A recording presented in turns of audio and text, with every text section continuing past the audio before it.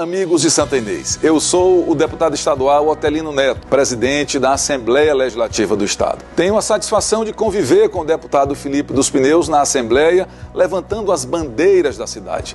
Ele tem se dedicado muito e, nesses menos de dois anos de mandato, consegue ajudar a população da cidade.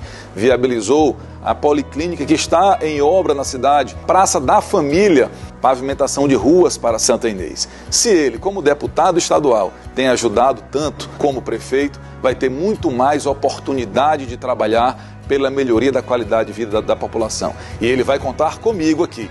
Eu estarei à disposição para ser este representante da cidade de Santa Inês, para o Felipe trazer as demandas, as necessidades da população da cidade e eu as receberei aqui e vou lutar junto com ele para que nós levemos ainda mais conquistas para vocês. Nós somos todos Felipe dos Pneus, somos todos 10.